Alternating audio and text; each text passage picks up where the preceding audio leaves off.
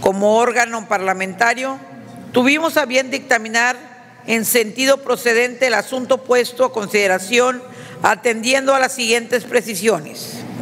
Se le otorga el reconocimiento a los jueces de lo mercantil en la ley de referencia, estableciendo a su vez la exclusividad de los mismos para conocer asuntos de la materia bajo las reglas de competencia previstas en los diversos ordenamientos mercantiles.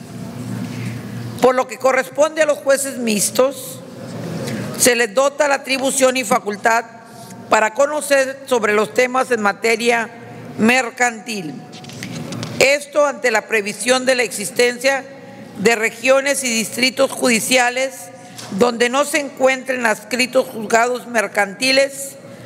Asimismo, en observancia a disposiciones de la Constitución Política del Estado de Tamaulipas y la Ley Orgánica del Poder Judicial del Estado, se establece que el Consejo de la Judicatura tenga la facultad para la creación de juzgados, atendiendo así a la correcta armonización que debe prevalecer en la legislación de la materia.